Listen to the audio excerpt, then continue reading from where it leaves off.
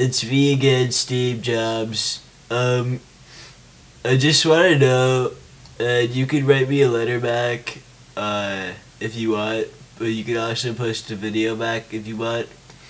Um, cause I know you have an iPhone too, and you could probably, you could probably record videos on it.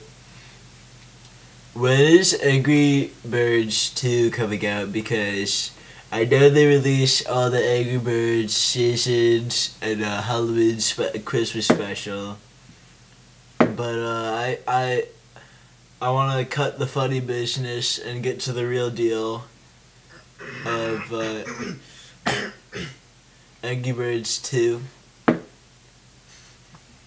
I just need to know when this is coming out because I know that there's definitely going to be a next one because you'd be you'd be a dumb dumb idiot to not make Angry Birds 2 because the first one would be billions and billions of dollars. So I just thought that you you just tell everyone when it's coming out because every day I check uh my I check for uh, updates on the latest Angry Birds news and there's nothing about Angry Birds 2.